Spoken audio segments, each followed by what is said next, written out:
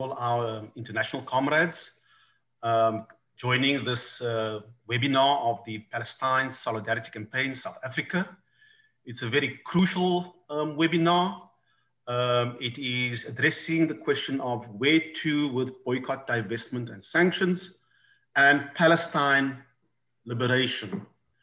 Um, before we go in and introduce our guest speakers, um, some kind of administration. Um, for all kinds of engagements and questions, please pose your question on the chat section and we'll get the um, speakers to address those um, after everyone um, has um, spoken. By way of introduction, let me first say um, that, of course, boycott and sanctions has its history in the liberation struggle in South Africa. It emerged in the 1960s after the Sharpeville massacre and found its way into the first uh, UN agreement, a non-binding agreement on sanctions in 1964. And this campaign in turn led to a very crucial moment, which was the adoption by the UN of the International Convention on the Suppression and Punishment of the Crime of Apartheid in 1973. And this was led by African governments and, and Russia and then consequently adopted by 109 uh, countries. The anti-apartheid movement was so um, important and had been able to mobilize in major countries that even in the US in 1986, the US government had to pass the Comprehensive Anti-Apartheid Act of 1986. So the topic for today, I think, has a broader history and of course also is based on precedents um, of the um, South African um, struggle. And uh, by way of introduction, I would like to just uh, introduce our uh, speakers for today. Uh, we have Chief Zweli Velile Mandela, also known more popularly as Comrade Mandla Mandela. Uh, he's a member of parliament of the leading party, the African National um, Congress, and is also, of course, um, the grandson of our struggle icon, Nelson, Nelson Mandela. Uh, we also have um, Comrade Ziyaad Patel, who is an attorney. He's an international human rights um, lawfare activist. Um, Ziyaad has also had much experience in terms of defending individuals and NGOs in local and international human rights matters. We also have a long-standing comrade in the Palestinian struggle, Comrade Jaamia Galant um, of the Palestine Solidarity Campaign um, South Africa. She's currently working in education development at the University um, of Cape Town and is active in the broader political landscape um, in South Africa. Um, we are going to order the kind of presentation as follows. Comrade Ziyaad is going to just give a short presentation on why do we need the IPSRA bill, which is basically the implementation and protection of Palestinian solidarity rights bill, IPSRA. Um, why do we need that for about five minutes? And then Comrade Zwelivelile is going to uh, make some remarks um, on the challenges that will confront um, such a, a, a, process. And then we will go back to Comrade Ziyaad um, in the program and followed by Comrade uh, Jaamia. Comrade Ziyaad, welcome.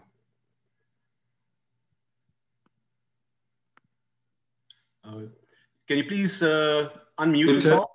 Okay, that's fine. Thank you, Comrade Eddie. Um, Thank you for the introduction and a good evening to all the guests and to the organizers of this important webinar. I think this is a critical webinar in dealing with the Palestinian solidarity movement and how we take the solidarity movement to the next level. Uh, I'm pleased to see Comrade Mandla on the panel as well as other comrades uh, to participate. And I want to also thank the Palestine Solidarity Committee for arranging this webinar during the Israeli Apartheid Week. Um, to bring into context why we need an institutionalized campaign will take some time, but I'm understanding that to briefly explain why we need IPSRA. We know that the Palestinian cause is at a, a, at, a, at, a, at a tipping point where many international speakers and international academics and human rights defenders have been saying that Palestinians are undergoing an incremental genocide. If not an incremental genocide, in fact, a genocide. Um, we have been assisting Palestinians in different types of atrocities that have com been committed and perpetrated by the Israeli occupying forces. In 2008, 2009, there was Operation Cast Lead. Then there was in 2012, Pillar of Defense, and then in 2014, Operation Protective Edge.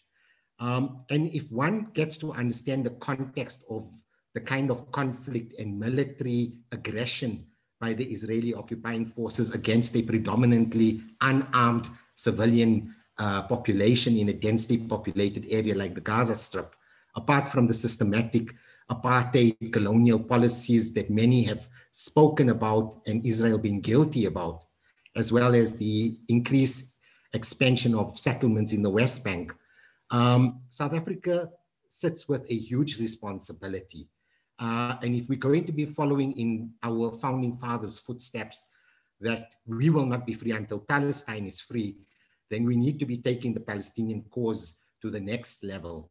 Um, with this in mind and the kind of work that I've been involved in as a lawfare advocate, uh, the IPSRA bill initiative was then drafted uh, through the many different kinds of engagements that I had dealing with, for instance, Khadija Davids from Cape Town when she was aboard the Mavi Marmara, uh, the Gaza docket, as well as in protective uh, Operation Protective Edge, um, and representing Palestinian prisoners' rights and child prisoners at the United Nations Human Rights Council. Um, and many, many academics and many activists from around the globe speaking about how do we strengthen the international intifada and make an impactful uh, contribution towards the Palestinian cause. With that in mind, uh, was the initiative of the IPSRA bill. I will deal with the IPSRA bill later on, but I want also, you know, uh, the uh, observers and uh, listeners today, uh, viewers, to understand that IPSRA is an initiative that is all-encompassing, which deals with lawfare advocacy as well as an institutionalized boycotts, divestments, and sanctions campaign, uh, and taking that to the level of government, whereby we have Parliament pass legislation. Uh, I will go more into detail with the kind of legislation and what is novel and what is hasn't been done before, because this would be a precedent kind of initiative, and what has been done previously. And I think uh, Eddie has spoken previously about initiatives by other during the height of the apartheid struggle.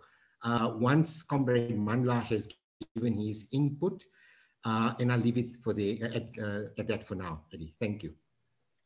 Um, Comrade Mandla.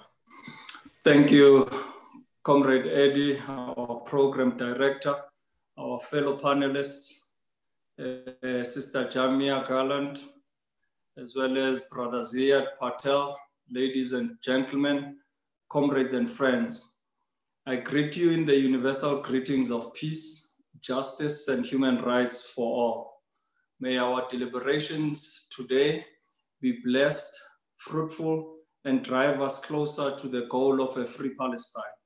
Allow me at the outset to thank the, the organizers for arranging this discussion on a topic of critical importance with the pro-BDS bill. Allow me to preface my remarks with an, an acknowledgement. I was very excited and pleased to read that the South African Palestine Solidarity Organizations have developed a draft bill, the protection and promotion of Palestinian solidarity rights in South Africa, IPSRA, for the purpose of legislating BDS, the first of its kind with the principal objective of achieving legislation for the implementation of BDS. I want to add that, comrades, that we must always be vigilant and alert to the machinization of the detractors and enemies of Palestinian struggle. We must especially avoid the astute dissent and frivolous disagreements within our own ranks. Those are all the willy tricks in the poisonous arsenal of our enemies. Every platform for Palestine and in support of Palestine, of the Palestinian struggle, is a platform that we must support. We must eschew organizational rivalry and rather focus our attention on the work at hand.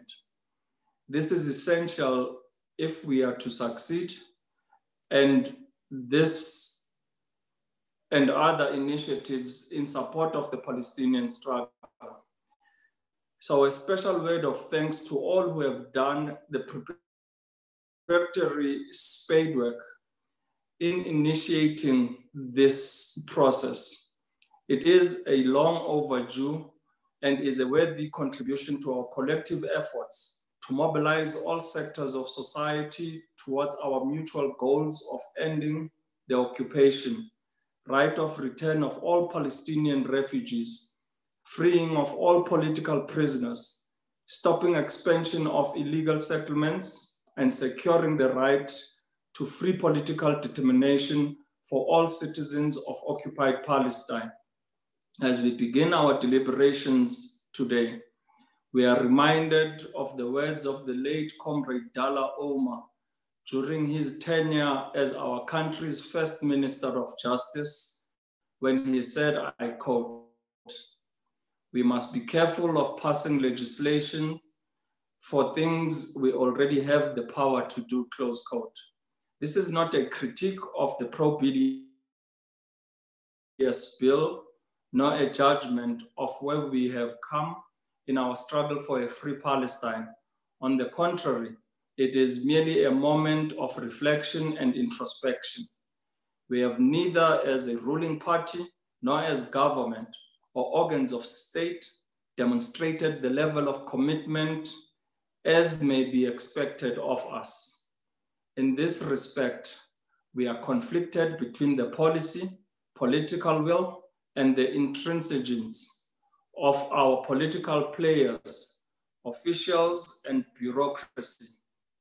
The embarrassment of having a Chief Justice that turns a blind eye to the long history of human rights violation crimes against humanity, and ethnic cleansing and genocide by apartheid Israel is symptomatic of what we have to contend with.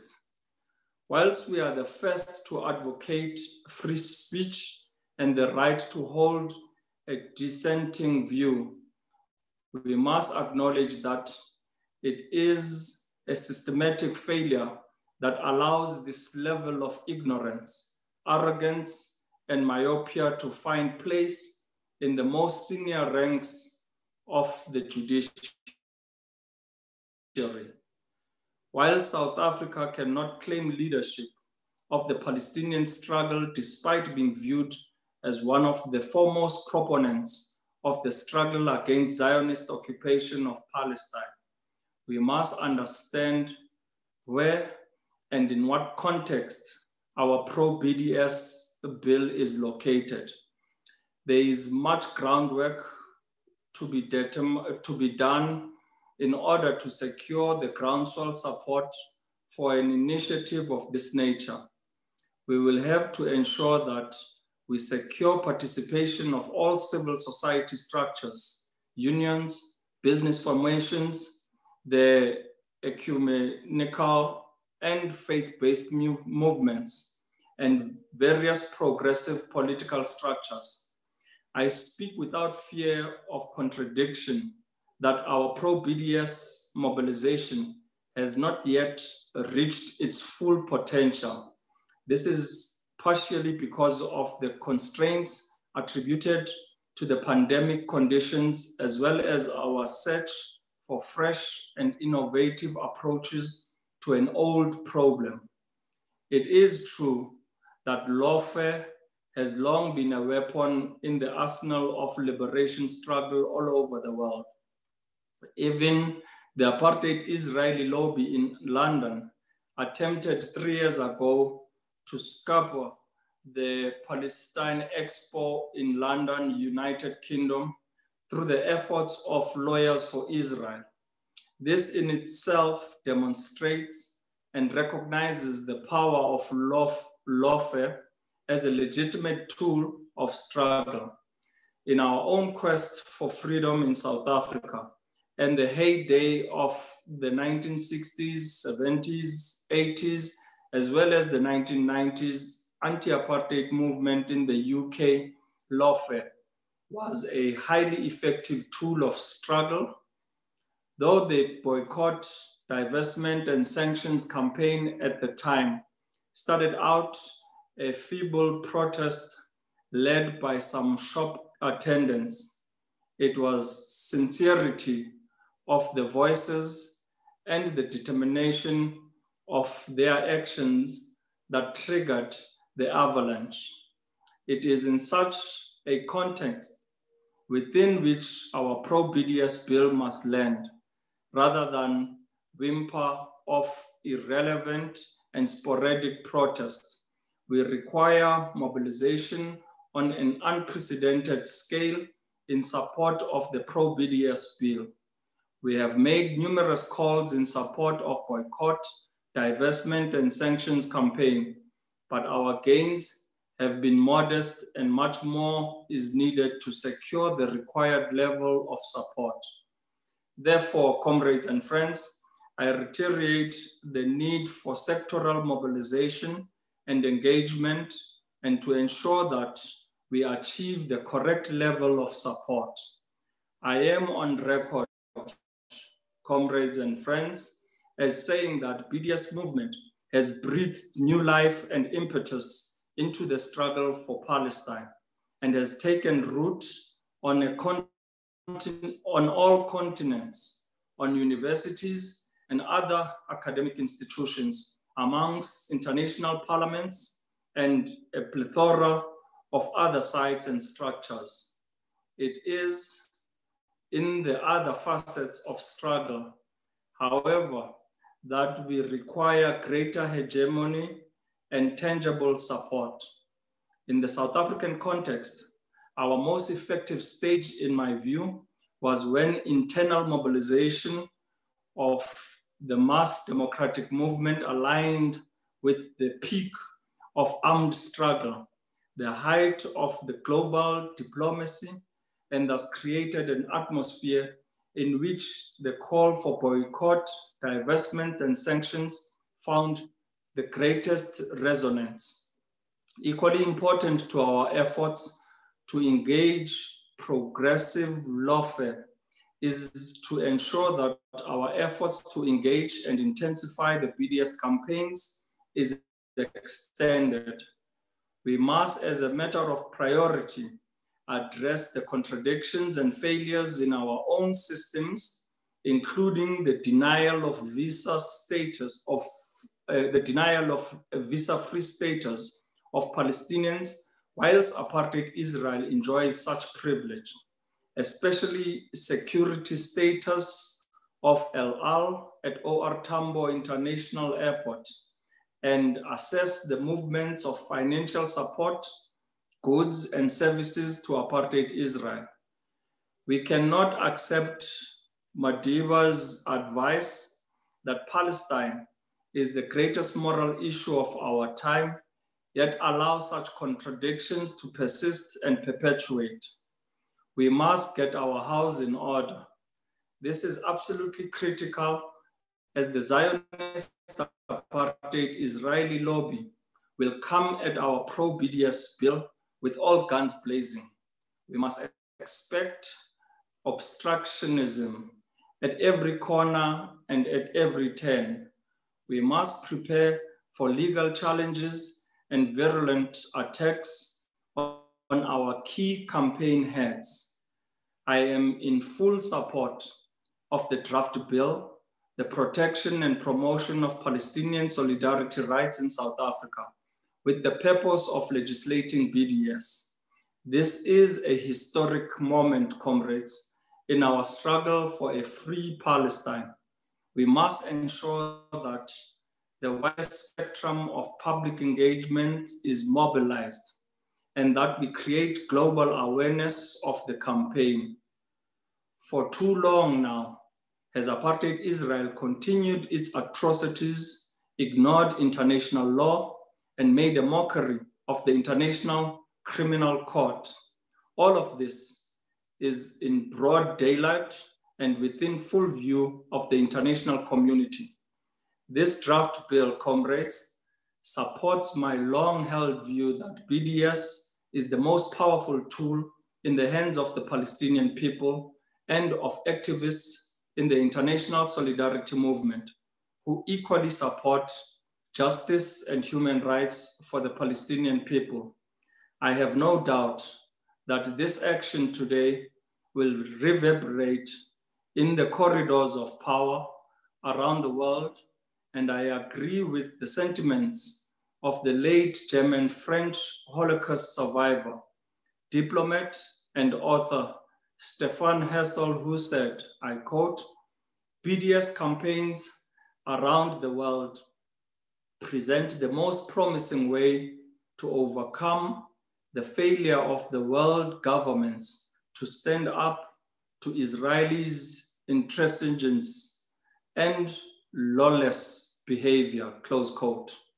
I thank you, comrades, and wish you well in tonight's deliberations and looking forward to this bill coming before Parliament.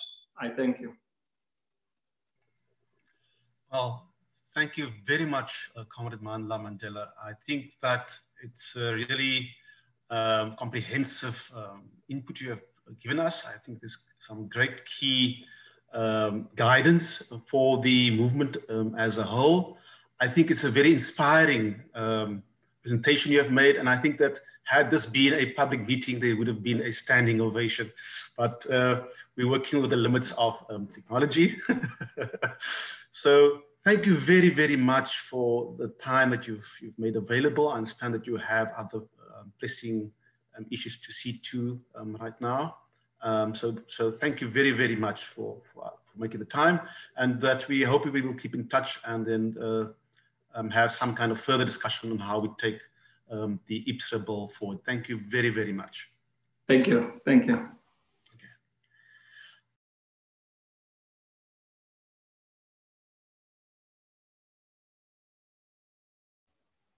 Can you please unmute? Eddie, please unmute. I am. Can you hear me? Yes, we can okay. hear you now. Yeah. Uh, we're coming back to Comrade Zia just to continue his discussion um, as part of the program. Maybe go ahead. Thank you. Thank you, Eddie. Um, comrades, I must say that listening to Comrade Mandla, uh, to an extent, um, we feel that this bill, this IPSRA bill, was an instrument that was long overdue. Um, I think, you know, why do we need the IPSRA bill? Um, we need to understand the genocide context.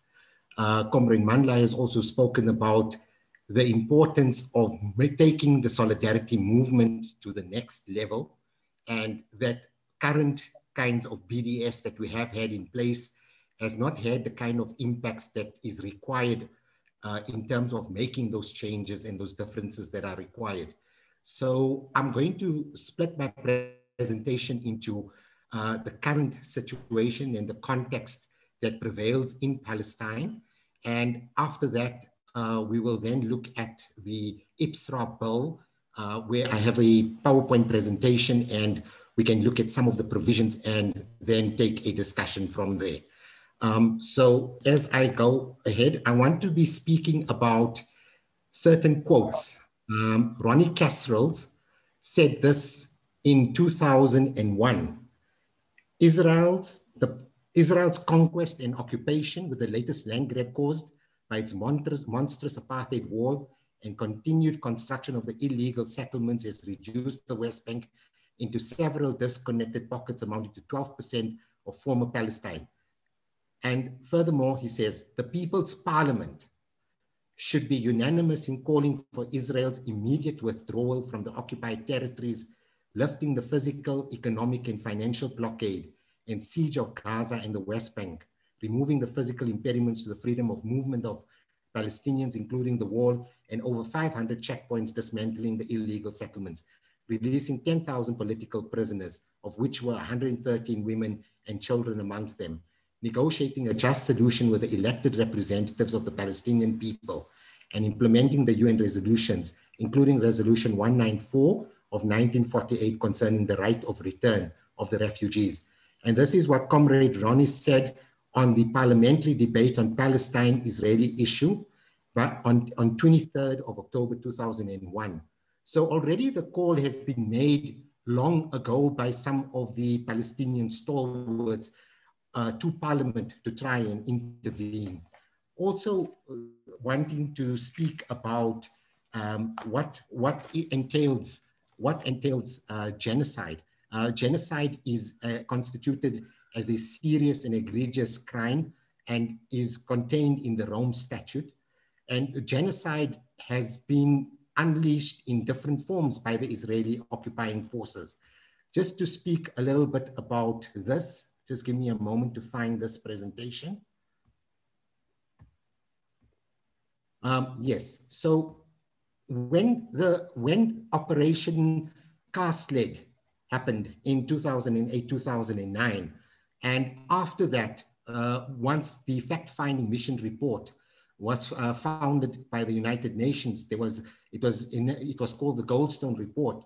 You know, there were certain retractions at that time, but one of the one of the findings in that Goldstone report stated at paragraph 1887, the timing of the first Israeli attack at 11:30 a.m. on a weekday when children were returning from school and the streets of Gaza were crowded with people going about their daily business, appears to have been calculated to create the, the greatest disruption and widespread panic among the civilian population. The treatment of many civilians detained or even killed while trying to surrender is one manifestation of the way in which the effective rules of engagement, standard operating procedures, and instructions to the troops on the ground appear to have been framed in order to create an environment in which due regard for civilian lives and basic human dignity was replaced with disregard for basic international humanitarian law and human rights norms. And of significance is that the Israeli attack happened at 11.30 a.m. on a weekday when children were returning from school. Um, I want to also speak about Norman Finkelstein, where he does a critique of the 2014 fact-finding mission report. And I think this is critical to our, our understanding as to why there's the need within the context of genocide that South Africa has to now take the next step.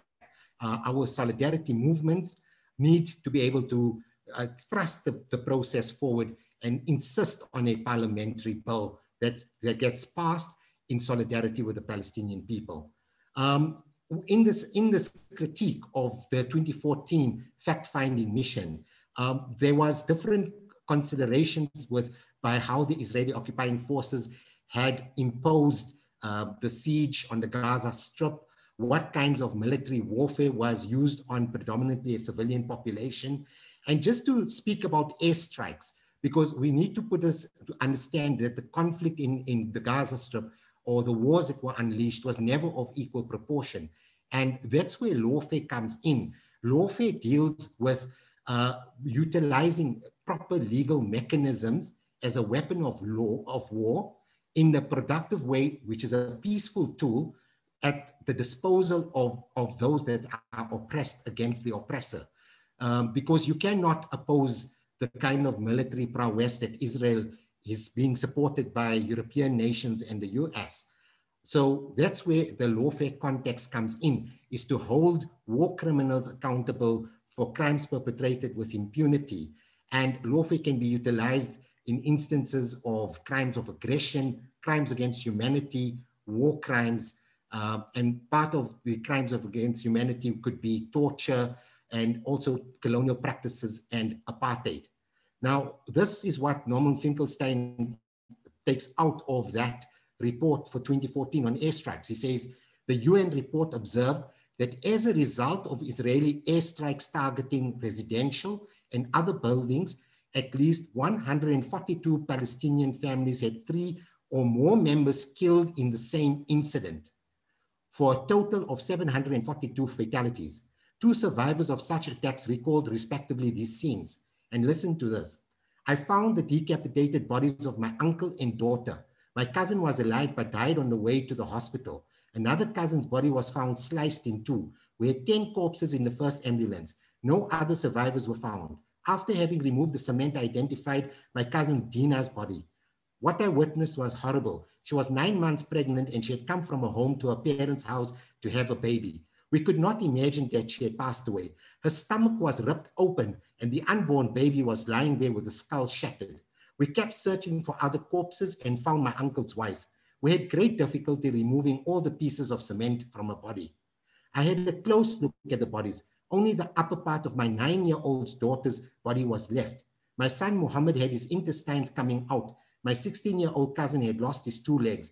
My son Mustafa was five meters away from me, had received shrapnel that almost completely severed his neck.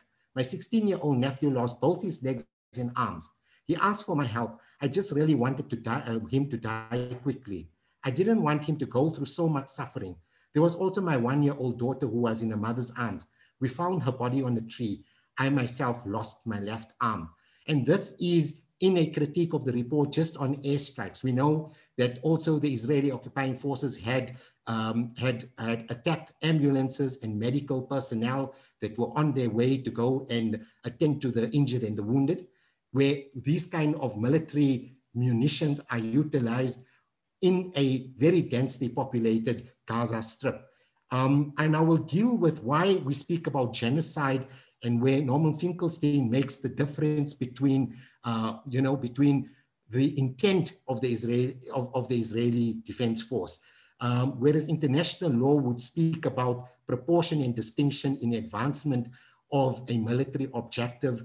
Norman Finkelstein's critique of it is that Israel is wholly accountable for for, for, for, for the crimes that were perpetrated because it was not only against any sort of armed conflict or combatants, but because of wanting to having issues with Hamas or because wanting the Palestinian people to turn against Hamas and then collectively punish the entire Palestinian population in the Gaza Strip.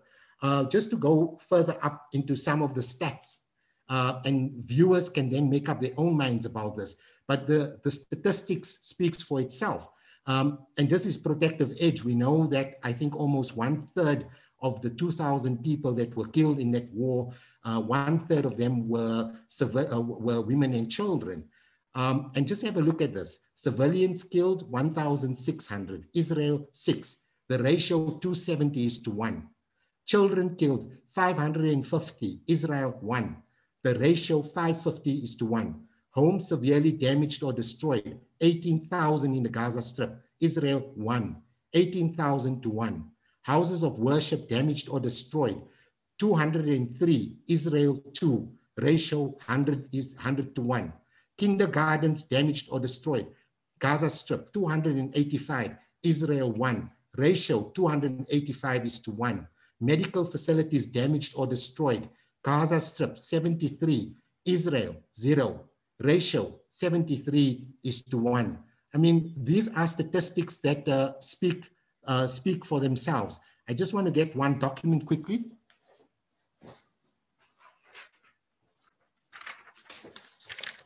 Having a look at having a look at the genocide of the Palestinian people and an international law and human rights perspective, this is what is said by the Jewish Polish legal scholar Raphael Lemkin he says more often genocide refers to a coordinated plan aimed at destruction of the essential foundations of the life of national groups so that these groups wither and die like plants that have suffered a blight. The end may be accomplished by the forced disintegration of the political and social institutions of the culture of the people, of their language, their national feelings, and their religion. It may be accomplished by wiping out all bases of personal security, liberty, health, and dignity. When these means fail, the machine gun can always be utilized as a last resort. Genocide is directed against the national group as an entity and attack on individuals is only secondary to the annihilation of the national group to which they belong. And furthermore, at paragraph eight of this report, they go on to say that please to note that settler colonial regimes are structurally prone, and I repeat this, settler colonial regimes are structurally, pro structurally prone to genocide and may indulge in genocidal moments when they become frustrated by the resistance of a colonized or occupied people. And I think this speaks for itself. Uh, the conclusion is that prominent human rights advocates and scholars have argued that the killings of Palestinians and their forceful expulsion from Mandate Palestine in 1948, the Israeli occupation of the West Bank, East Jerusalem and Gaza, and the violence and discrimination directed at Palestinians by the Israeli government have violated a number of human rights protections contained in international human rights law, genocide being among of them. Um, just, just giving the context, this is basically the context to the, the, the genocide uh, question. Giving context to the genocide and why we're saying that, um, you know, it's, it's, it's, it's a posit that Israel's accountability has not always, they've not always been accountable by international institutions. Uh, there has been some movement in 20, uh, there has been some movement recently by the ICC, the, that is the International Criminal Court, where the Palestine Authority or Palestine was accepted or by means of ascension, accession uh, to the International Criminal Court. And then a preliminary investigation was undertaken by Fatou Bensouda, uh, which almost took about five years in that preliminary investigation to determine whether war crimes, crimes against humanity were perpetrated against the Palestinian people uh, within the Palestinian territories. Uh, noting that this was also the, uh, noting that that preliminary investigation was then referred to the ICC tribunal and the three ICC judges then made a finding pre predominantly that finding constituted as follows, that Israel um, would be investigated and that uh, criminal jurisdiction has been found uh, in the instance of war crimes that were perpetrated in occupied Palestinian territories. Um, Palestine had requested from the ICC that uh, crimes be investigated back to 2014, which was protective, uh, Operation Protective Edge, uh, and that, that process is now underway. Um, at the time when IPSRA was drafted, we had complete intransigence. And I think Comrade Mandla spoke about that, that there's international institutions in both in local and, and at government level, that there's this intransigence towards the Palestinian cause, that people will speak towards Palestine, will support the Palestinian cause in rhetoric, but will not do anything of impactful nature. And this is where the IPSRA bill is basically structured or based. Um, so so that, that is a welcome decision by the ICC. And all that can happen out of there is that this can benefit IPSRA even further. We know that the United Nations um, has a difficult approach, uh, is not holding, despite the numerous resolutions and international conventions, uh, there's still intractability by the United Nations and by certain powers, states that carry the veto vote at the UN Security Council uh, that continues to protect and defend Israel. At the same token, those same nations are the ones that actually sell ammunitions and weapons of war to Israel, which are then uh, used on the Israeli people, and vice versa, that we also have the circumstance where Israel is selling its own arms and ammunitions to countries like the United Kingdom and to European nations that in fact get battle tested in territories of the West Bank. So these are circumstances under which the Palestinian people are enduring despite the systematic uh, practices of apartheid and colonialism um, and the exodus of, of Palestinians from their land. Uh, we know that Palestinian prisoners are tortured um, uh, all the time, uh, that their rights of uh, their rights or legal to legal representation have been taken away. Uh, the circumstances in Palestinian, uh, in Israeli prisons are dire.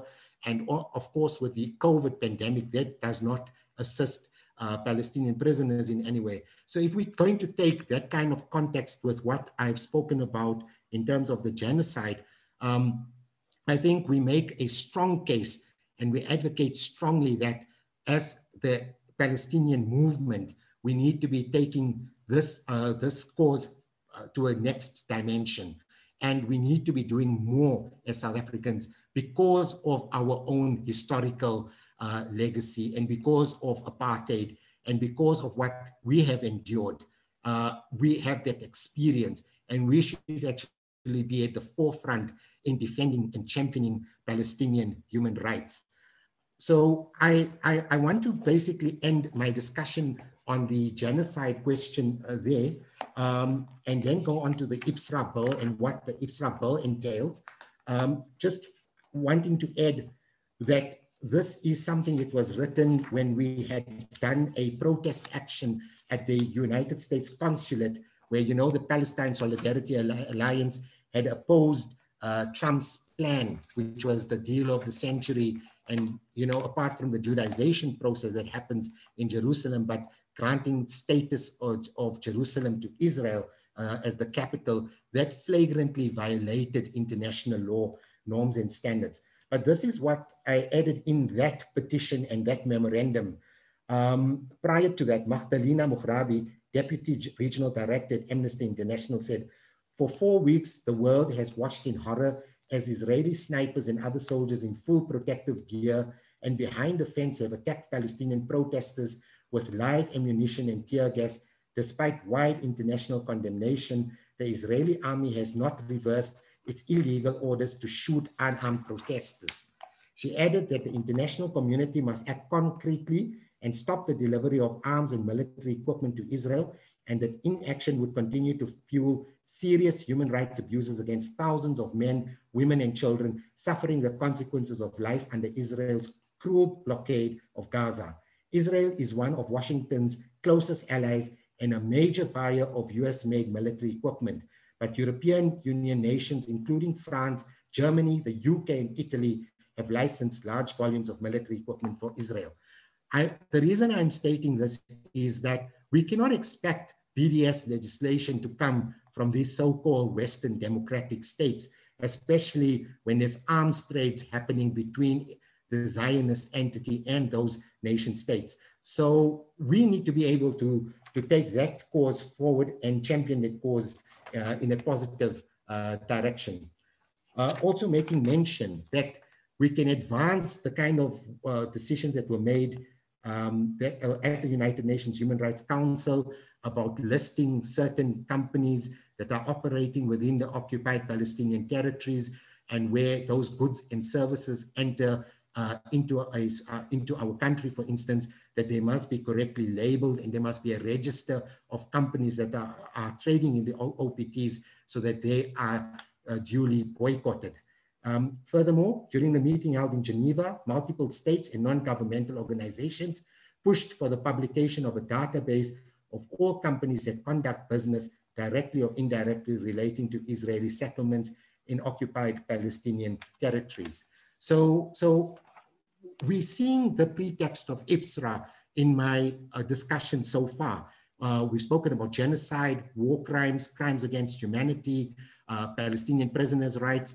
Uh, to tell your viewers, uh, when I had went to the Human Rights Council in 2016, uh, we advanced a cause on Palestinian prisoners and predominantly Palestinian prisoners, ch children, Palestinian children who are being daily um, uh, accosted and daily being uh, abused by the Israeli police uh, in the way they go about things. Uh, for instance, if there's a, throw, a, stone throwing, they are basically taken to the Israeli police station. They are refused any form of legal access to their children or to a lawyer. Um, and also the dire conditions of these Palestinian prisoners and Palestinian boys. Uh, for instance, children as young as uh, six years old are being uh, are being arrested. Uh, I've seen when I was in the Middle East a clip of a boy that was actually two years old that just used the significance of resistance by picking up a stone against the Israeli occupying forces and they wanted to actually arrest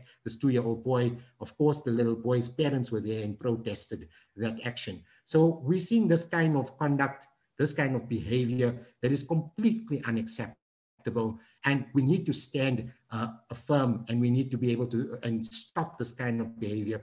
And one of the ways of doing that is to try and institutionalize our campaign in a way that says that South Africa will not accept what's going on and champion the human rights of Palestinians. And that's why we have the implementation and protection of Palestinian solidarity rights, uh, the Palestinian solidarity rights bill. Um, Comrade Eddie, are you still with me?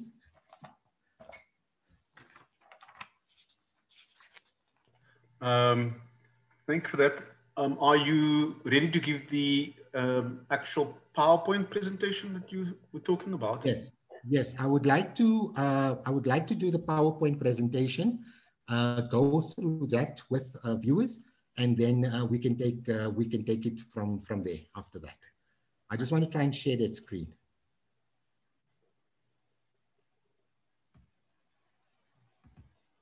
Okay, can everybody see that? Comrade Eddie, can you see that? Yes, we can. Okay, so um, this is this is the IPSRA bill, and I will go through some of the contents of the IPSRA bill, what I it's what it entails. Uh, the text, I would suggest that uh, viewers who are keen and interested, it can be circulated. It's very difficult to discuss on a webinar uh, the text of the bill, uh, but it is available upon request and we can go through that as well at the appropriate time. Uh, just to introduce what IPSRA is about, um, what is IPSRA? So IPSRA, coming back to it, is not only BDS legislation, it is an all-encompassing legislation against the Zionist entity. And at the forefront of this legislation is the advocacy of lawfare and utilizing the legal mechanisms of lawfare as a resistance tool that is using the law to hold Israel accountable for its actions, but also taking that further and advancing lawfare to the aspect of saying um, that we are going to now institutionalize BDS as well as institutionalize important legislation with regard to South African citizens, for instance, going to serve in the IDF, uh, or for instance, giving um, um, you know prerogative or privilege to Israeli state leaders who come to South Africa who get protected under the Diplomatic and Immunities Privileges Act. Uh, so IPSRA sits in that position with current uh, legislation in South Africa that we already have, as well as our implementation and protection of, uh, in, as well as the, our implementation of the International Criminal Court Act when we ratified the Rome Statute, and also the Foreign Military Assistance Act. Uh, uh, addressed to that is the prohibition of mercenary activities, so we do have acts and legislation already in place that is all encompassing and general to any kind of crimes that are perpetrated uh, where South Africa may exercise criminal jurisdiction. Um, added to that is we must look at our trade laws, for instance. It's not a, it's not novel for South Africa, for the South African minister, for instance, to implement trade laws and import tariffs, for instance, in a, in a, in a situation where you have uh, a certain state uh, dispute and certain goods and services coming from a particular country where the trade minister can impose an import tariff uh, on those goods and then avoid those goods coming actually into the state and that causing some form of sanction or penalty. Um, so what is IPSRA? Just to go through it, uh, IPSRA is the tool of resistance, was adopted, lawfare was adopted as a legitimate policy tool at the NGO Forum of the UN World Conference Against Racism in Durban. Palestinian NGOs around the world are effectively deploying this tactic for the first time, where Israeli government is facing serious allegations of war crimes. Um, there has been some question about lawfare, the correct approach and application of lawfare, and we heard from Comrade Mandla and his support of lawfare. It is an important tool for Palestinians who are confronted with by a superior military power of the Israeli state. Global lawfare can defeat belligerent occupation, settler colonialism, and apartheid. What is the lawfare context to advance the Palestinian cause? I have already spoken about this, so just very quickly. It's advocacy in utilizing legitimate policy tools, including legal mechanisms and customary or criminal universal jurisdiction against present and former Israeli leaders and military commanders who either hold political or executive or military office with command line responsibility. Who are accountable for the most egregious crimes and abominable international crimes perpetrated against Palestinian civilians and activists. And it includes genocide, ethnic cleansing. There's no doubt that the 1948 exodus of Palestinians was ethnic cleansing. Um, I think that is now um, accepted in our law and accepted by scholars that that was perpetrated ethnic cleansing and genocide. The Gaza war crimes, we've only spoken about uh, Operation Protective Edge in 2014. I was also a member on uh, and an attorney that had prepared the Gaza docket in 2008, 2009. Um, there was a group of, uh, of, of, legal experts, legal, legal people from South Africa that went to Egypt. Uh, the Rafah border was closed, but when the Rafah border had opened, there was a hospital, a field hospital, where doctors uh, tended to the wounded in, in, in the Gaza Strip. And some of the doctors had taken photographs of some of the victims of the war that was uh, unleashed in 2009. Um, and personally, uh, quoting Norman Finkelstein, the descriptive uh, sense of, of the kind of crime that is perpetrated against children. Uh, you know, they, we saw photographs of babies who were killed, babies who were blasted away by these heavy munitions of time bombs and, uh, and different kinds of white phosphorus and other serious munitions that were used in a densely populated area and completely horrendous crimes. Uh, to, and, and to see that these children had no future, their future is basically being snatched away. So, so this is something that has been going on. Um, and definitely the crimes of aggression. Uh, the application of international, so lawfare, also entails also of international. Um, there is a request that you put the presentation on full screen. I think people's screens are different sizes, so you could put it on to full screen. Thank you. Uh, okay, how do I do that? Um, just, uh, Lutfi, could you come in there? Let me see if I can, sorry. Is that better? No, it hasn't made any difference. Oh, the glass icon bottom right. Glance icon. Yeah. Yes, that one. I think it's this one yeah. Oh. Okay. There, there you go. Yes. Thank you. Okay. So how do I scroll then up and down? Oh, okay. All right. Okay. I'll figure it out. Thanks, Comrade Eddie. Okay. So um, may I carry on? Yes, go ahead. Okay, so speaking about lawfare, the context to advance the Palestinian cause, um, we also talk about the application of international conventions and resolutions, which declare the perpetration of such criminal conduct a violation of international law and international humanitarian law. So always when we look at the lawfare context, it's about holding those accountable for the most egregious crimes perpetrated with impunity. And that's within the context of current international law international humanitarian law. And I think that's where the issue of um, the Khadija Davids case was very prominent, is that Khadija was on the flotilla vessel as part and parcel of an international community of people wanting to go and uh, unbreak the siege in Gaza, which has been ongoing since 2007, I believe. And at that time, um, that siege and an embargo, um, that embargo actually goes against international human rights and the San Remo manual and naval law, for instance. So there always needs to be access to rights of movement, access to the needs of the occupied people uh, being tended to by the occupied in terms of the international humanitarian law and the Geneva Conventions. Uh, so that's where the context of lawfare comes in. Uh, this is just a slide to show this is currently what has been going on. I work with an organization called the Right of Return, the Global Campaign for the Right of Return. This was in 2015. Israeli settlers storm Al-Aqsa Mosque, protected by Israeli forces and Palestinian worshippers stand up against them and defend the mosque. And we know that this is the continuous situation with Palestinians on the one end and Israeli police on the other end, fully equipped in full gear um, and trying to, um, you know, Um, trying to abuse Palestinians and take control of their land and all the different kinds of problems that they have within those communities. So moving forward, why IPSRA policy?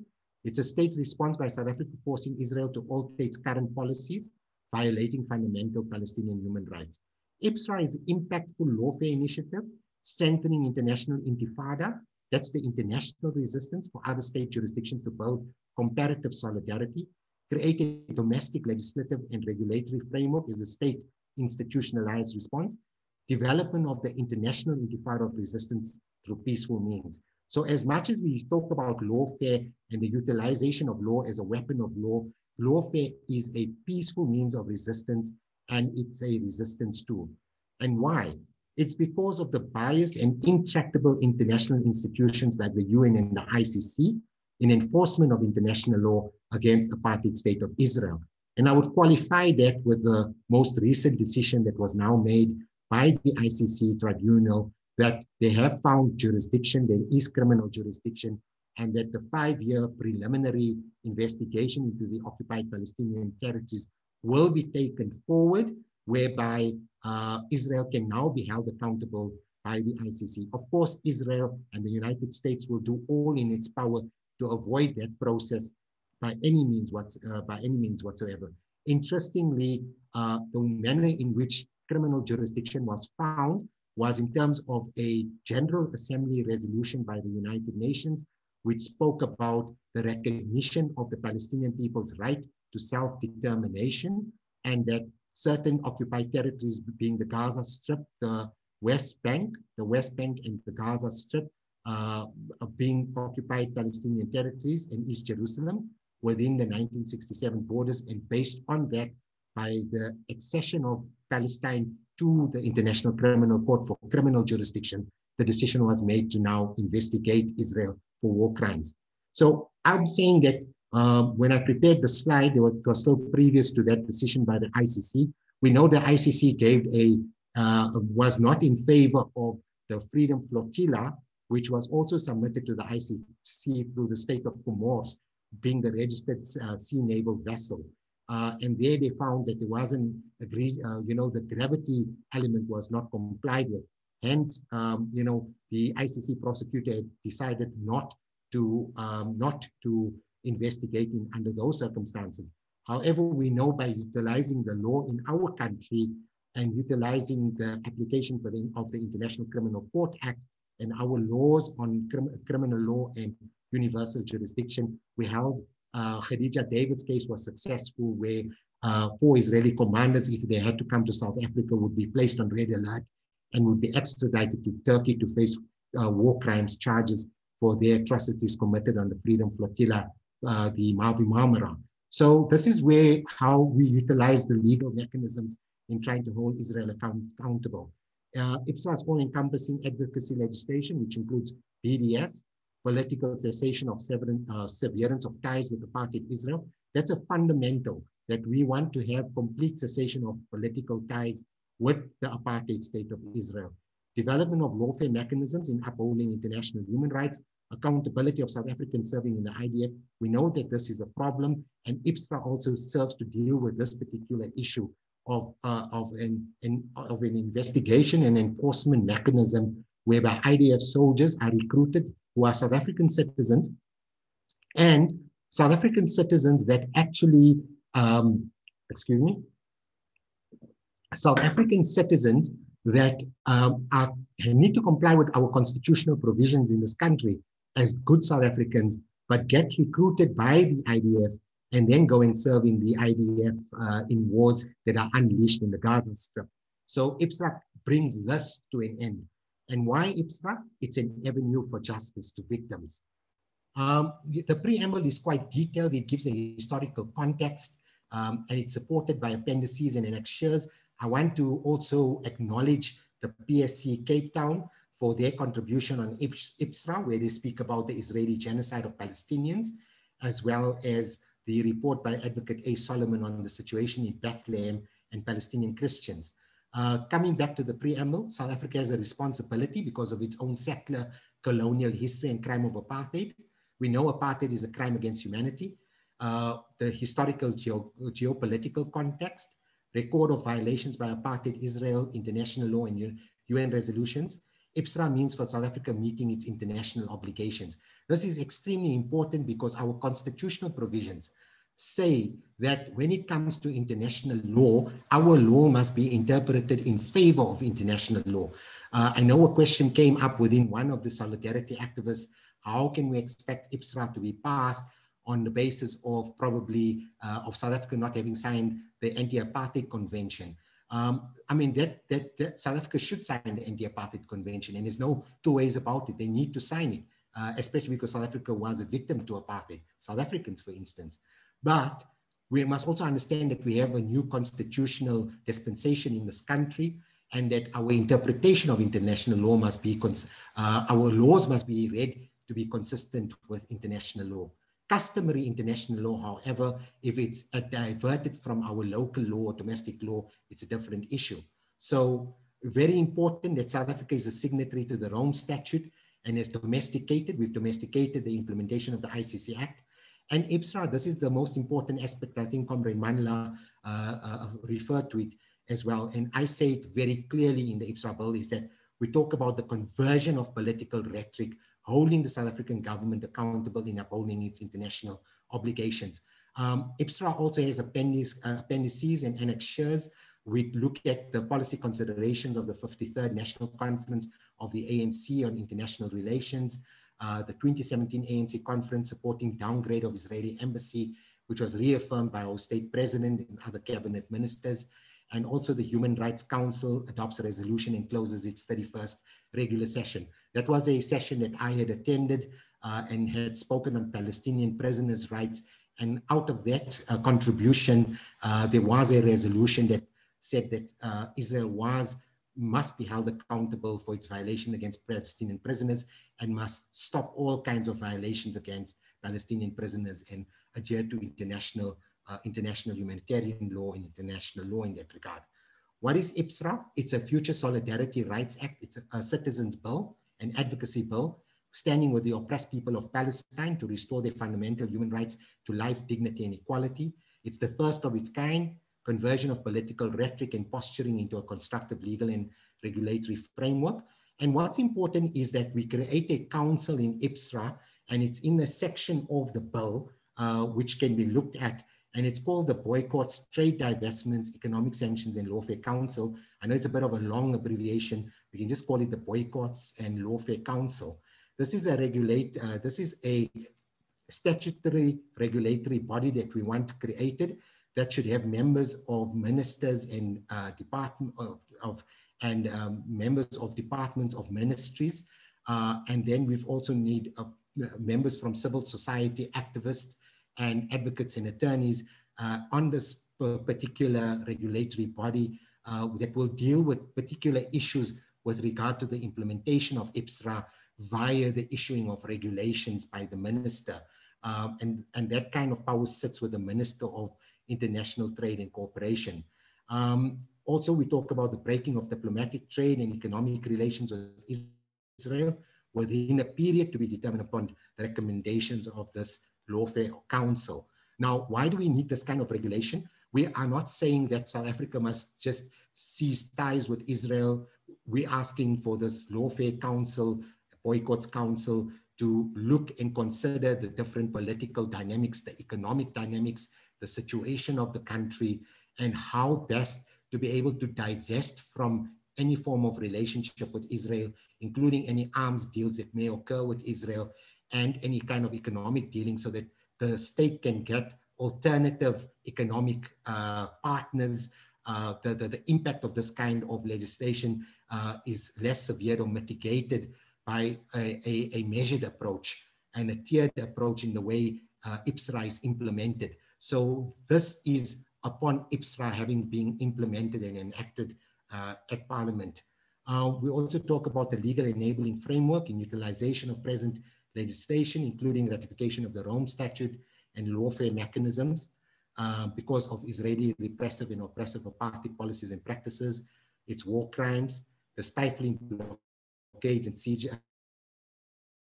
uh, sieges imposed on Gaza, uh, belligerent occupation affecting peace initiatives in the Middle East, illegal and unlawful expansion settlement policies, and this is also in contravention of UN Resolution 2334 and Israel's continued breaches of international law, torture conventions. We know Palestinian prisoners are also being tortured international humanitarian law, civil and political human rights. Um, how will it be undertaken? By passing IPSRA legislation and regulation to be promulgated, fulfilling international criminal and customary, customary law obligations, and abiding with the Criminal Procedure Act, our domestic laws, universal jurisdiction, uh, and importantly, we've got IPSRA speaks about the foreign regulation of the foreign, foreign Military Assistance Act, and we also have the Prohibition of Mercenary Activities Act, which has a bit of a higher, a lower threshold than the Foreign Military Assistance Act. And IPSA is there to support these particular acts when it comes to any form of recruitment of, uh, of South African citizens, particularly South African youth, uh, into the Zionist army. Um, at the time when Gadija Davids had given her testimony aboard the Mavi Marmara, she had attested to the fact that most of the foot soldiers or the navy that was aboard from the Israeli Defense Force were young people that we know Israel recruits from across the world through their different campaigns and through uh, institutions that have been formed uh, for this kind of recruitment. And we're saying that if IPSRA is passed here and we set the example, it becomes the kind of legislation for other countries to follow suit and to implement in other countries. And in that way, uh, to hold these leaders, these Israeli Zionist leaders accountable and to actually close the net on them and also for their recruitment process, including the economics and divestments and sanctions, uh, uh, sanctions that would be applied. Um, we also talk about amendment of the Diplomatic Immunities, Rights and Privileges Act. So there won't be this issue of any uh, state leader from the Knesset coming to South Africa who was part and parcel of any war, excuse me, any war that was in, uh, that, that, that they played their part um, as a part of the IDF, and they come to South Africa and accept to be treated with, um, you know, with kid gloves, we would have then this kind of legislation uh, kick in. And it is possible. Um, again, we see Masjid al-Aqsa, we see Jerusalem, we see um, the kind of Israeli, um, you know, outposts um, always there, always lurking in the background, always showing themselves also to Palestinians, and that they're living under these conditions. Uh, Section 7 is this Lawfare Council. What are its focus areas? It's constituted by the Minister of Trade and Industry, 30 members across government, business, and civil society, nine members, attorneys, and advocates to advise and inform, lawfare mechanisms to look, be looked at, and also to look at the risk analysis, which I spoke about earlier. And what sectors does it uh, impact on? Trade, industrial and economic, sporting, cultural and religious, academic, collaboration, environmental, water and energy, arms trade, and munitions. So this is the kind of lawfare regulation that we would be looking at, and we can look further into that um, into that particular um, you know lawfare council. I just want to go to that.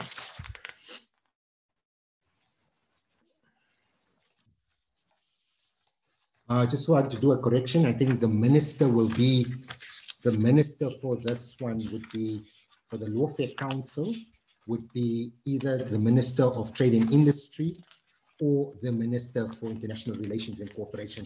I think there's a bit of a correction for that, but we can look at that um, as well. Um, again, I spoke about Magdalena Mughrabi, the Deputy Regional Director at Amnesty International and we spoke about Washington as being one of Israel's closest allies. So we cannot accept that any of these countries would in any way whatsoever pass this kind of legislation that would hold Israel accountable or that would stop any forms of arms trade. And that's particularly the problem is the arms trade. It's the arms trade that causes the problems in the wars that are being unleashed in the occupied Palestinian territories like the Gaza Strip. Uh, also, we have the courts here. Um, courts have powers of to interdict or to review and set aside. And that's any form of trade or commercial activities by the South African-based companies, multinational corporations based within the Republic of or South African companies trading elsewhere with its principal place of business or its registered address offices within the Republic that conducts business with the State of Israel. Uh, the High Court would have powers to interdict or set, review or set aside any commercial trade agreements with the State of Israel, which are concluded contrary to IPSRA Act any sporting, cultural, or religious agreement or academic collaboration activity between universities and other institutions which may be contrary to the purport of the act. And I think when it comes to the boycotts perspective, what's important is that we're not asking for when it comes to collaboration between institutions and that is that we have a problem when it's Israeli institutions that are funded by the Zionist regime and there's collaboration between those kind of institutions and institutions in South Africa. So these are issues that needs to be discussed, uh, looked into further, but it is already created in the draft IPSRA bill. And again, it rests, these questions rest with this boycotts and divestments in Lawfare Council to come up with the proper regulations in this regard. Um, we also speak about specialized courts in the High Court and what kinds of power that they may have. Um, any to, to powers of review of any bilateral trade agreement. So anything that comes to the state of Israel, there has to be uh, a, a, greater tier of accountability within the IPSRA legislation. And, um, and also we must consider the provisions of the Administrative Justice Act, and administrative law, uh, but particularly that Israel must be accountable and they, this, this, court can issue warrants of arrest for accused persons in pursuit of investigations as the, course, as, as the court may direct or deem necessary. And this is not something that's new because we already have these, uh, this kind of administration uh, of the uh, uh, specialized organs of state like the National Prosecuting Authorities Hawks Unit, uh, which is called the Priority Crimes Litigation Unit that deals with specialized war crimes and so forth. Um, also to interdict accused persons from leaving the Republic pending an investigation, which may be contemplated in the Act. The Minister of Safety and Security and the Minister of Justice and Constitutional Development must create the necessary enabling environment in order for the relevant authorities and courts to carry out its functions and duties as provided. Uh, these are some of the offenses and penalties. A natural person would, be fined with, an amount of up to 300,000 rand or five years. A juristic person, increased, we've increased to 1 million imprisonment of its directors for five years, penalties, arms manufacturers to be determined by the minister.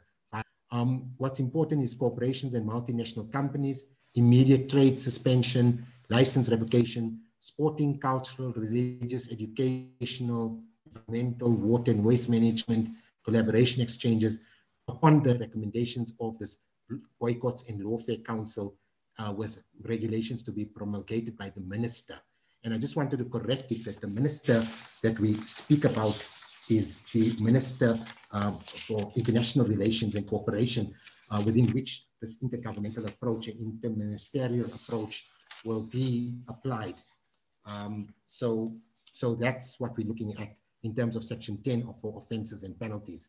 Uh, this is the coordination and cooperative governance between ministries and departments uh, and organs of state. We've got home affairs, trade and industry, arts and culture, education, science and technology, uh, water and environmental affairs, sports and recreation, um, and also departments and organs of state, again, presidency, office of the president, international relations and cooperation, safety and security, justice and constitutional development, and particularly we'll have the high courts and special courts, the South African police services, or would be involved in this kind of uh, action is the Priority Crimes Investigation Unit, DIPSI, and from a prosecution perspective, the Priority Crimes Litigation Unit. Um, other important considerations, promulgation of regulations by the Minister, offenses and penalties, transitional regulation, section 11, cooperative governance, section 12, and then once again, doing away with the diplomatic immunity and privileges, the resolutive conditions in section 13. Um, also wanted to speak about challenges, um, you know, sorry, just one minute. Uh, to other jurisdictions, it challenges the apartheid Zionist regime globally and will achieve the defeat of apartheid Israel, gives back dignity and freedom to Palestinians, redresses violations of the past, including right of return and other alienated Palestinian rights, strengthens a global campaign for the respect of fundamental human rights where there are habitual transgressions. Um, these are important quotes by, for instance, Oliver yeah. Tambo. We know Oliver Can I, uh, Stalwart. Yes. Yeah. Let's ask yes. you to, to, to wrap up your presentation. Okay, thank you, Eddie. I'm almost done, almost completed. Uh, we've got Oliver Tambo. We know that he steered the anti-apartheid movement during the darkest age, uh, darkest years of South Africa. And these are important quotations from him. Um, our watchword must be mobilization, organization, struggle. All our people must be mobilized into action. All our people must be organized for action. All our people must engage in struggle. That must be our reply to the enemy's desperate counteroffensive. Um, the, the fight for freedom, this is my favorite one. The fight for freedom must go on until it's won, and until our country is free and happy and peaceful as part of the community of man, we cannot rest. And I would end with saying that we cannot rest until uh, Palestinians are free. Uh, conclusion on the IPSRA bill, it creates a culture for change towards a new democratic and constitutional world order. Uh, it forces Israel to change its political uh, dimension and its political composition that uh, violates and, uh, Palestinian rights. And it forces Israel to relook at its own internal politics and in the way it's framed its Zionist policies uh, against uh, Palestinians. Palestine and South Africa become models for peaceful, democratic, and revolutionary change.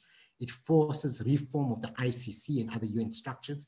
Uh, importantly, that IPSRA and lawfare can serve complementary with international institutions and structures and can force those institutions, those international institutions, to restructure, especially uh, from and shift them from the current position of intractability. Um, resolution 2334 is very important. We know it again reaffirms findings by the, that the state of Israel that settlements in the Palestinian occupied territories since 67, including East Jerusalem, have no legal validity and constitutes a vagrant violation under international law. Um, so that, uh, Comrade Eddie, I would leave it at that. Um, we also had the status of Jerusalem and international conventions on this. Uh, but we know that I think the context has been given within which Palestinians operate and why there's the importance uh, for the IPSRA bill. Thank you so much for listening to me. Thank you so much for your um, presentation and input.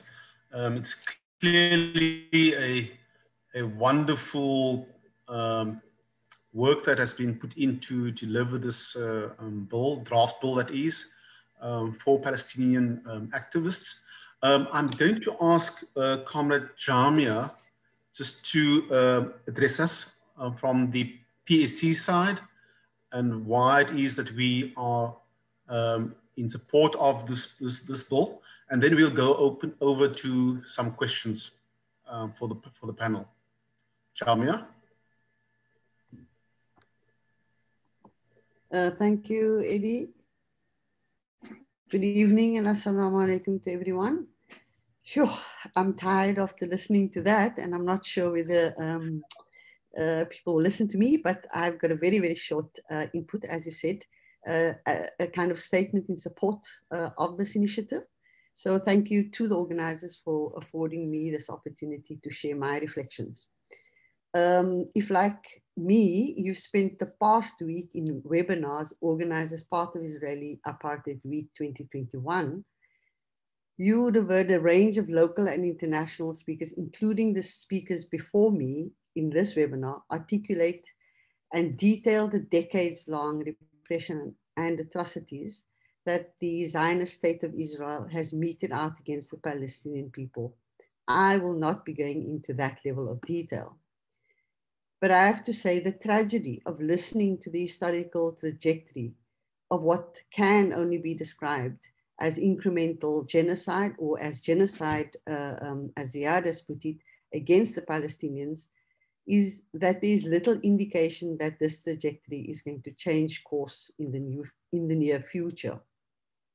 And I say this because despite the fact that the United Nations, the so-called watchdog of human rights atrocities in the world, as Ziyaad again has, has detailed for us, has adopted numerous resolutions to hold Israel to account for its flagrant violations of international human rights law, yet Israel has continued to act with systemic impunity to realize its vision of a Zionist Jewish state at the expense of all its Palestinian citizens, including those in the occupied territories.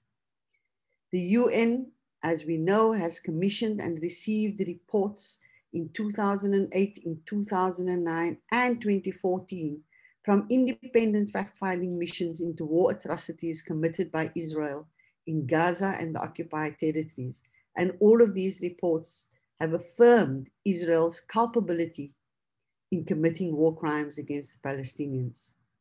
The UN resolution adopted by the Security Council in 2016, which uh, Ziyaad uh, just showed in his second last slide, unequivocally condemns the ongoing establishment of Israeli settlements in the occupied Palestinian territories, and which the UN rightly recognizes as an attempt by Israel to establish a one state reality on the ground, that being the one Zionist Jewish state of Israel. While we know that the so called two state solution was never a viable and just solution for Palestinians, it has always been deliberately undermined by Israel itself, despite its own rhetorical allegiance to it. The truth as we know it is that the colonial genocide of the Palestinian people by the Israeli regime, supported by Western imperial powers, has continued unabated for over seven decades, starting in 1946. If the UN and the ICC to date have been toothless, I say toothless, uh, Ziyaad says intractable, in holding Israel to account or bringing its colonial occupation to an end, it is not surprising that over these same decades, the Palestinian resistance forces and the global Palestine solidarity movement has been unable to significantly shift the balance of forces towards the liberation of Palestine. It is only in recent years, since the increasing consolidation of the global BDS campaign against Israel, that Israel and its allies have begun to feel some pressure, not pressure to change its colonial and genocidal tactics, but pressure to fight back. This is manifested, for example, not only in Israel banning BDS campaigners from entry to Israel, but also in the adoption of anti-BDS legislation by several states in the US and countries like Canada, Austria, Germany, Spain, and the Netherlands, to name a few. Elsewhere, anti-BDS legislations and policies have been couched in anti-Semitism laws or policies, equating the BDS campaign to an anti-Semite campaign. In fact, anti-Semitism has become the dominant discourse of attack against BDS campaigners in recent times. These policy and legislative responses are indicative of the recognition that a successful global BDS campaign poses a serious threat to the Zionist project of Israel. Indeed, it is this threat that inspired the call for a global BDS campaign against Israel from Palestinian civil society themselves. It is a campaign calling not only for solidarity with Palestinians, but also a campaign to act against Israel. Inspired by the success of the global anti-apartheid movement against South Africa, BDS is a call to action to put pressure on the Israeli state to end the occupation and restore the land dignity and human rights of all Palestinians. We should never forget that the freedoms and democracy that we enjoy in our country, South Africa today, however flawed, are the beneficiaries not only of our local relentless freedom fighters, but also beneficiaries of the success of the global anti-apartheid solidarity movement that campaigned for the end of apartheid for over 40 years, from the 1960s to the 1990s, until the demise of the apartheid regime in South Africa. It was this global solidarity movement that gradually eroded the legitimacy of the apartheid state internationally, that isolated the apartheid state economically from world trade, politically from diplomatic relations, and socially from any global sports and cultural activities. This is what the BDS campaign against Israel strives to achieve. Israel must become the pariah state of the world. It must be delegitimized as a sovereign state and isolated economically, politically, socially, and culturally.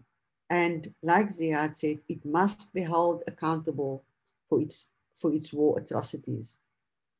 All of this, I believe, can only happen through a sustained global solidarity BDS campaign.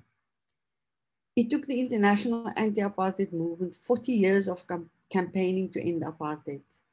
The BDS movement against Israel was launched by Palestinians 21 years ago in 2005. And while its voice is less muted internationally today, to date, it has had little effect on the global status or economic and political prosperity of Israel. The key lesson learned from the international anti-apartheid movement is that it was the solidarity campaigns of civil society organizations across the globe that eventually pressured their governments and institutions to legislate BDS against South Africa, whether it was economic sanctions or sports and cultural boycotts. The states, the governments created policies to bring these into effect. So too, we in South Africa, I think have reached a point in our Palestinian solidarity campaigns where we have to do more to pressure our government to legislate BDS against Israel. If countries and institutions can legislate anti-BDS laws and policies, then we should call for the reverse and call for legislating BDS laws and policies against Israel. We can be global trendsetters in this regard. Our ruling party, the ANC, has long expressed its supportive relationship of the Palestinian liberation struggle reinforced regularly by ANC conference resolutions. We hear it every year. However, our government to date has done little significant to support the Palestinian struggle for self-determination. It has only recently gone so far as downgrading its embassy in Israel to a liaison officer, office. The latter, according to President Ramaphosa, and I quote, leaves open the space to oversee our continuing provision of consular services and any trade and economic relations, close quote. In other words, the government has shown no intent to support the global BDS campaign against Israel. It is unacceptable and a betrayal for the ruling ANC to shirk its moral responsibility and, as Ziyaad put it, international uh, obligations of meaningly supporting the liberation of Palestine through the BDS campaign. The reluctance of our government to act decisively against Israel and to insist on the rhetoric of a two-state solution ultimately makes them and us complicit in the ongoing repression and genocide of the Palestinians. There is little doubt that the BDS campaign in South Africa will be most effective if if it is enforced through legislation and supported by the South African government. We have witnessed how ineffectual PSC or BDSSA calls for consumer boycotts of Israeli products or companies have been, and our calls for academic, sports, and cultural boycotts against Israeli institutions have been resisted. Without legislative and state support, BDS efforts in South Africa will put little pressure on Israel to end the occupation. We need our government not only to legislate BDS against Israel, but also lobby other countries to follow suit. It is unconscionable that our government continues to seek to normalize relations with Israel, especially through trade agreements. And even within civil society, we seek to normalize relations with, with Israel. How, for example, is it that we have had at least five former Bafana Bafana players who have played in the Israeli PFL and no one blinks an eye. The draft IPSRA bill, which Ziyaad has presented um, very comprehensively to us today, could be the starting point for focusing our BDS campaigns towards the legislative arena, where its effects could be more directly felt by Israel. The bill in its current form is very ambitious, as, as you'd have seen. But if presented to Parliament, it at least has the potential to force a conversation amongst lawmakers about how best to formulate and implement not only BDS laws and policies against Israel, but also holding Israel account for its war atrocities against the people of Palestine. It also presents an opportunity to mobilize more of civil society in support of BDS legislation against Israel. No doubt, we will also have to gather all our defenses against the onslaught of resistance that will come from the powerful Zionist lobby groups in our country. This, however, should not deter us in our efforts to support the struggle of Palestinians for the end of the brutal Israeli occupation and their struggle for justice and self-determination. We can do this best by pressurizing our government to legislate BDS against Israel and hold them accountable for their war atrocities. Uh, thank you, Eddie. Thank you very much, Jaamia. That's a wonderful presentation, very insightful. Um, I'm just considering time now. I think we've really kind of exhausted much of our time for this evening. There are a, a few questions maybe we can address um, very, very quickly. Um, to the, I think maybe any of the panelists can maybe um, answer this. Um, how best do we popularize what Ziyaad is presenting and develop a grounds up approach is one question. Um, another question is, uh, what can the international community do to amplify this legislative initiative? And then generally, how do we take the, the BDS campaign forward? Um, I'll leave it open to um, any of you to maybe answer. Um, Eddie, I think there's a, there's a good response from Martin in the chat, um, which says that um, both P PSC as well as um, SABDS Coalition um, will attempt to draft a kind of a plan of action um, after this. And the plan of action has to include the awareness campaigns, the education around this, uh, and to pick up on some of the points that that uh, Ziyaad spoke about in, in terms of explaining to people how focusing a BDS campaign in this way sh can shift uh, can shift the goalposts um, and and uh, you know work towards a greater impact, uh, particularly in terms of putting that pressure on Israel uh, as opposed to you know only um, expressing our solidarity uh, with the Palestinians and not actually having an impact uh, on, on Israel in that way. Okay, good. Um, and of course, to add, um, you need to join the PSC to take the cycle forward. Um, I, I, think there's a lot of that's uh, a good point. Yeah, asking very good questions and are interested in this topic.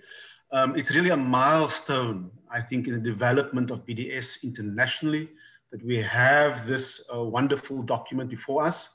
Of course, it's not the end of the process. It is the first kind of public engagement um, on the IPSA bill. It will go through another process of engagement and uh, we'll be engaging on strategy. So Ziyaad, I'm going to give you the last say in tonight's um, webinar.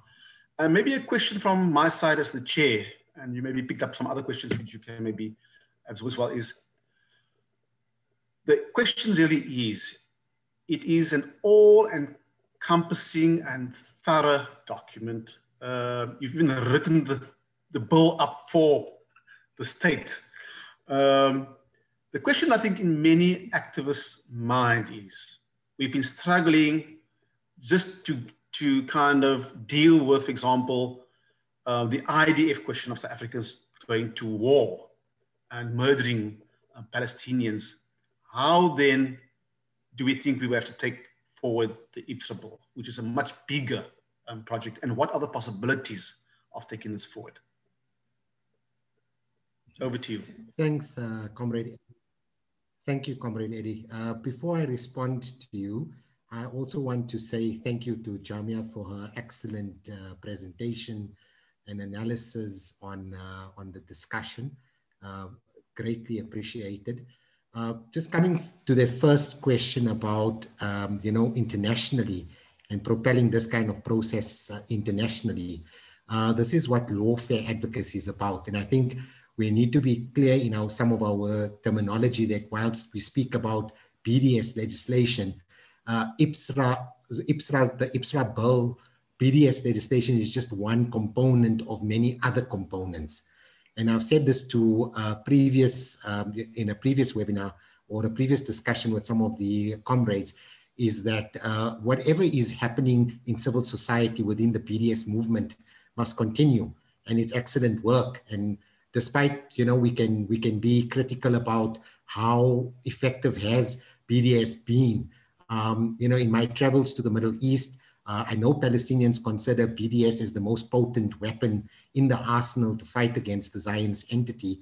But out of that development is also this lawfare uh, initiatives in holding war criminals accountable.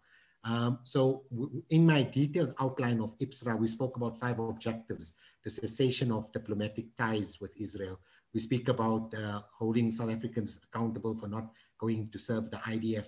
There's five objectives. And I'm saying that as an activist, uh, you know, more than being a professional advocate or an attorney, is that I'm also an activist for Palestine, is to say that there are five non-negotiables because of the genocide and because of the historical geopolitical conflict and because of the historical context of genocide against Palestinians, is that we want the South African Parliament to consider IPSRA as it stands and the bill as it's drafted, but of course that it needs to go through a parliamentary process.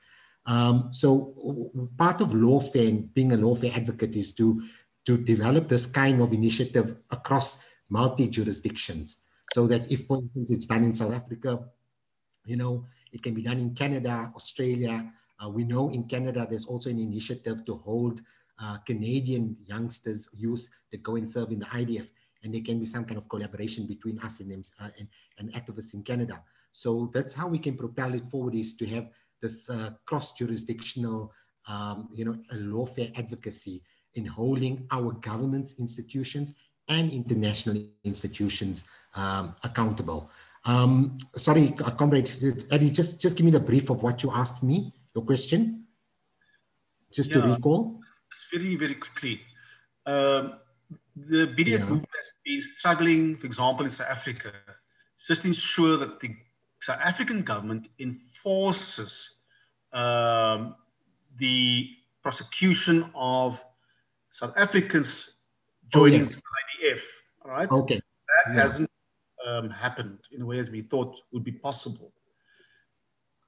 The concern okay. from many activists out there globally and locally would be this, of course, is a milestone in terms of the development of BDS and BDS, sorry, not BDS alone, but broader IPSRA um, lawfare, uh, what are the grounds, for example, uh, for it actually taking off? Noting yes.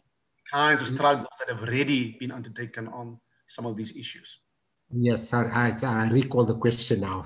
Um, yeah, so the first, so the first part of that question about, uh, you know, I mean, for instance, um, when we prepared the Gaza docket in 2008, 2009, uh, some of the uh, you know professionals that were involved in it, uh, we didn't even know that South Africa had ratified the Rome Statute, and there was actually a you know the implementation of the International Criminal Court Act that was lying there and not being utilized. And I think when the Gaza docket was prepared, we were one of the first country, uh, we were actually one of the first cases apart from the Zimbabwean Exile Forum, which eventually that case went to the Constitutional Court, that started utilizing the Rome Statute. And, and, our, our, and, and we had passed that kind of legislation.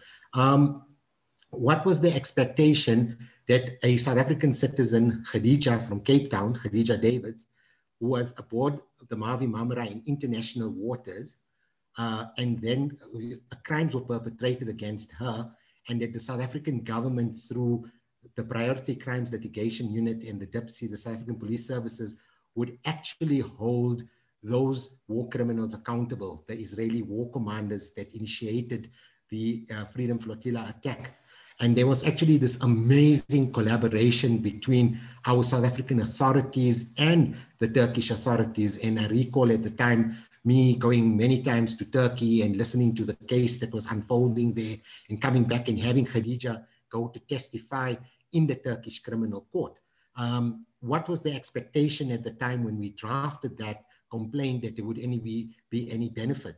So, so you know, what I said earlier in the presentation is that we do have laws on the statute book, and those laws can be utilized in a successful and in a proactive way that advances the Palestinian cause. Um, what IPSRA does is it basically supports that kind of legislation and it actually focuses particularly not on any other country but the Zionist state of Israel because we want Zionist state of Israel to, to, to, to change its policies, to change its political Zionist ideology that uh, of, of Judaization and of, of, of this kind of suppression of everyone else but themselves. And doing this um, and, and, and, and doing this through kind of legislation that we've, we've, we've created great advocacy. So I would say, um, I mean, there are cases currently in South Africa that are being investigated where South Africans have went and served in the IDF, and we've used and utilized the Foreign Military Assistance Act, which I spoke about earlier. So, Comrade Eddie, um, I think you know our authorities we we need to treat them with a bit more of understanding and with a bit more um, you know in a way to say that we shouldn't undermine their ability to do things for us in the Palestinian cause because they have done things for us in the past. And um, IPSRA is exactly that kind of initiative that if it sparks uh, a certain, um, you know, in a, a, certain interest within uh, the political groups and parliamentarians, and there's this political will to take it forward, we just see a completely new dimension happening in advancement of advocacy rights for Palestinians, but not only for Palestinians in the Middle East, but every other human rights cause where there are fundamental breaches and contraventions of international law. So we've got to continue being optimistic and asking the most of our, our government because of our constitutional um, uh, you know, responsibilities and for us to be upholding international norms and standards as an international state and as a party to, uh, you know, to the international community. Okay, thank you so much for the response. Welcome back, Comrade Mandla. I see you have your hand up. May I, may I ask you to maybe uh, make the last remark for this, this webinar this evening and close off. Thank you, uh, Comrade Eddie, and uh, let me also take this opportunity to appreciate the input that has been uh, made both by uh, Sister Jaamia as well as uh, Brother Ziyaad on the presentations. But I just want to touch up on uh, uh, what uh, Comrade Ziyaad was speaking on now. Uh, and I think uh, such a bill uh, needs to be brought within the political formations that constitute parliament. we need to approach all the political parties in parliament, and I do believe that we will enjoy the much needed support from the former oppressed communities uh, that uh, uh, have seats in parliament. And in that regard, we should be able to pass such a bill. But I also want us to consider legislators not only in uh, uh, the, our own space as South Africa, but in the SADC region, in the other regions of the African continent, whether it be East Africa, West Africa, Central Africa, or the Maghreb region. And in so doing, we should not lose sight in looking into the Pan-African Parliament and utilize it as you have uh, seen uh, during uh, uh, the tenure that His Excellency President Cyril Ramaphosa utilized his uh, position as the chair of the AU. He did uh, put the Palestinian issue right on one of the prioritization of what we needed to focus on. And in that, uh, we therefore need to focus on the African regions and the African continent at large. But uh, we also need to look at uh, the uh, other sectors. Uh, how do we utilize BRICS countries to further spread uh, the word?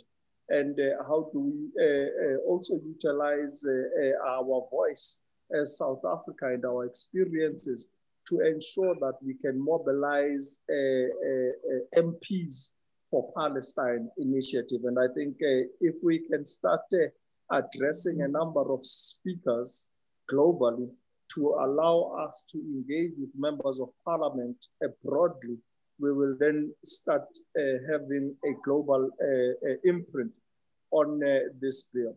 And I want to thank everyone who has truly given their time to uh, bring this bill uh, before us so that we can have a look uh, and speak about it. And I wish everyone well going forward. Thank you, Comrade Eddie, for affording us the opportunity. Thank you very much, comrades. Thank comrades, uh, thank you so much to all our speakers. I think it's been a very inspirational evening. Uh, we have such powerful presentations and uh, inputs, and I think it's created some kind of excitement once again amongst us. So the PSC will be communicating with comrades out there um, in terms of a program of action. So look out for your emails and, and follow our Facebook. It's always being updated um, every single day. And uh, hopefully the panelists and all of us will get together soon. Thank you so much. Have a safe weekend. Enjoy your evening with your families. And uh, yeah, see you again sometime. Amandla. Thank you. Long live the chair. Thank you. Thank you. Thank you. Thank you, comrades.